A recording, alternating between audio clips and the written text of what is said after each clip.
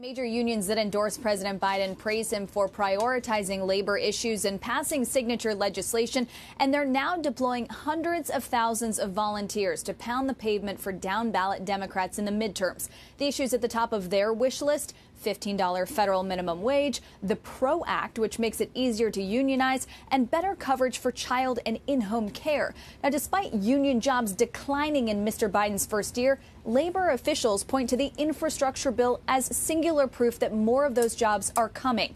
Mark Zandi at Moody's estimates that funding alone will yield 800,000 jobs, about 90,000 of which will go to unions. Today, I spoke to Mary Kay Henry, who runs the Services Employees Union, and in between her four state door knocking spree, she says those efforts are seeing results because we've targeted 4 million infrequent voters of color in the battlegrounds like Wisconsin, Michigan, uh, Pennsylvania, Georgia, Arizona.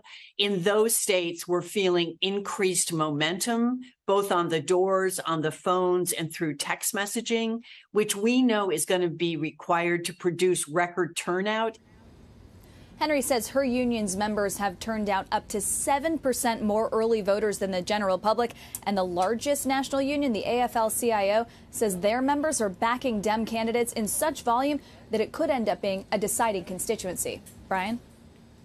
All right, Kayla, union workers, like just about everybody else, uh, are getting hit by, by rising prices. Who are they blaming?